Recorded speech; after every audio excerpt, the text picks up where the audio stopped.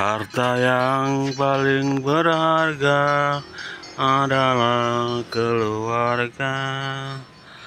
Jangan sia-siakan mereka selagi masih ada.